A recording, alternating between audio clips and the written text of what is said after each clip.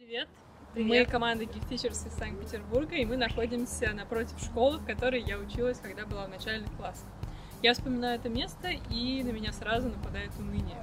Когда мы с Ариной пришли работать в школу, мы проработали там почти пять лет, то нас там окружали постоянные вопросы.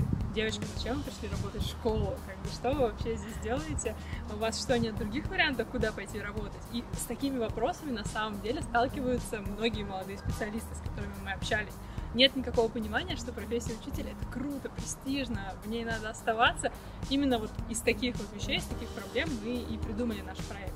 Мы проводим крутые, веселые мероприятия для учителей, вы попадаете туда, и это совершенно не классическое какое-то школьное мероприятие.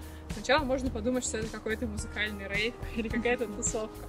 На самом деле там очень много разных образовательных и классных мастер-классов. Затем мы с этими учителями, которые побывали у нас на фестивале, начинаем работать уже удаленно. Мы приглашаем их на курсы, на вебинары и прокачиваем их в основном э, в том, что мы сами хорошо умеем. Мы рассказываем о том, как быть современным учителем, использовать телефоны, приложения, технологии. У нас есть новый проект, который логично вышел из проекта с фестивалями. Это кабинет на прокачку.